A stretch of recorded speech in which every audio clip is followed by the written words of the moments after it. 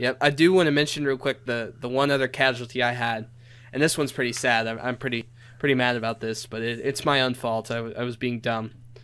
Um, so I was shooting shorebirds. Um, I was kind of faced um, with the the ocean to my left. I was kind of faced parallel on the beach. Um, if that makes sense, like I was more sideways rather than looking straight at the ocean. Mm-hmm. Um, and I was shooting, um, and I had my rain cover on, but it wasn't fully covering my camera part. Um, a rogue wave came in, splashed my uh, my battery grip. Um, battery grip didn't break instantly, um, but the next day I was shooting, um, and every time I would turn on the little, sw- you know how there's a switch to use the buttons on a battery grip. Mm-hmm. On off switch. Yeah. So every time I would turn that on, my camera would become inoperable. I could take a picture on my camera, but I couldn't change the aperture, review my pictures, anything like that.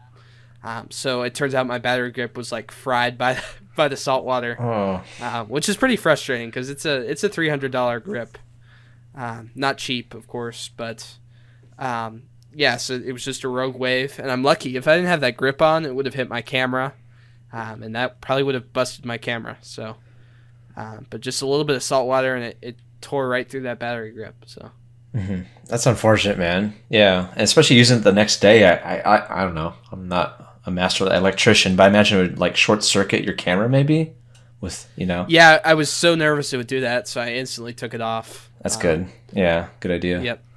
Yeah. And actually, I, I did discover though that I, I like my camera better without a grip. Um, it's a lot lighter, Mhm. um, and it actually helps me balance it on my, my gimbal head better without it. So, um, I do, I do have that grip insured. So I'm gonna try to get um, some money for it, and maybe just not buy another one and invest in a, a new L bracket or something, or because um, you know I bought an L bracket for the battery grip and not the small camera size. So maybe I'll invest in that or something. But and a new pair of binoculars. But uh-huh. That's true. Yeah.